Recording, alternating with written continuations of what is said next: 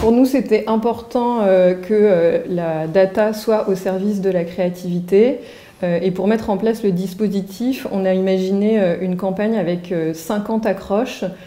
qui jouaient à la fois sur les mots, mais aussi sur les différents corps de métier de nos clients. Et donc pour ça, on avait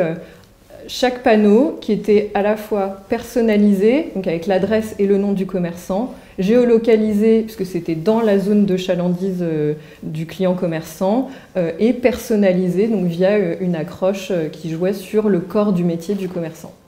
Donc le résultat a été vraiment une diffusion en temps réel avec plus de 700 créations dans lesquelles on venait piocher en temps réel avec toutes les variables dont parlait Patricia. Et l'objectif étant effectivement d'avoir un maximum d'impact auprès des pros et du grand public. Et on voit que ça a bien fonctionné puisque finalement on a eu des retours, une forte gratitude déjà des clients Société Générale qui se postaient sur les réseaux sociaux à côté de leurs panneaux, mais également du réseau SG qui a joué le jeu et aussi des RP qui montrent l'intérêt sociétal de cette activation.